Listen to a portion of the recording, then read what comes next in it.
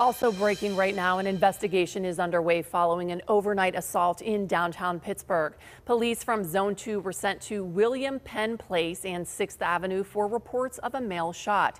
He was taken to the hospital with a gunshot wound to the hip. A shell casing was recovered near Strawberry Way. There are no suspects at this time.